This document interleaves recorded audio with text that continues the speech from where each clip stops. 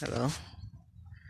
So today is the 14th of January, Thursday, 2020, and um, this happens to be the place where I actually planted beans for the first time in my life. And this is actually Mwembeshi, um, just a few kilometers away from Lusaka. Um, so we did our planting three days ago. Actually, we've been planting for the past three days. We started three days ago and we actually finished yesterday. So this land um, looks good, I think.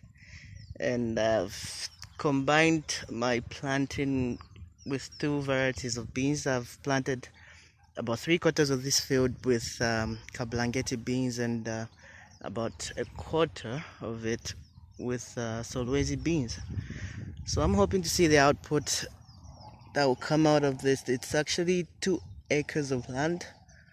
And um, as you can see it's quite big compared to uh, most farms you get to see. So I'm hoping to get about uh, my estimate is about 40 bags out of this land uh, as my actual output. So can only pray the rains or anything else doesn't get me. So yeah I'll give you update as these beans grow hopefully in the next uh, week or so.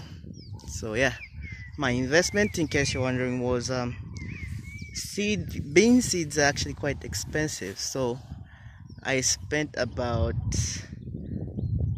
yeah roughly 2000 of on seed